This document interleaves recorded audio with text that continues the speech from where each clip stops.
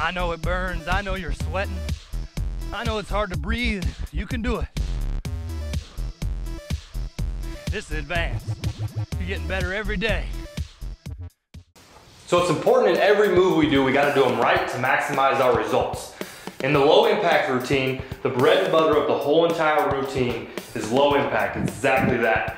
One of the major moves is we split our legs out wide, we point both of our toes forward, and what we're gonna do is it's a stationary lunge and reach. So I drop my chest and I reach, but the most important thing is we shift our weight towards our front knee.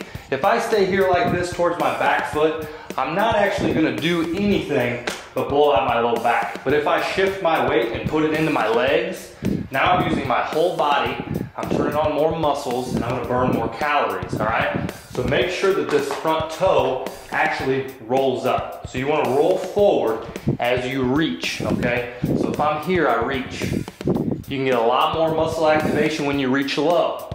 If you start feeling it in your low back, simple solution, reach high. So I still got my toes forward.